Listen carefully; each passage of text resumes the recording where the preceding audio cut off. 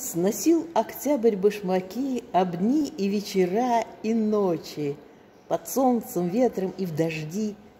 Не жаловался, между прочим.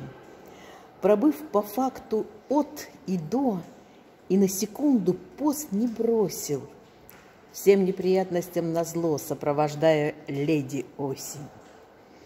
Такой галантный джентльмен, мечтательный и романтичный – был под рукой в любой момент, и это было так привычно. Однако время уходить. Осталась парочка денечков. Вопроса нет, быть или не быть. Есть только дата, подпись, точка. Прощай, Октябрь, и не грусти. Надеюсь, встретимся мы снова.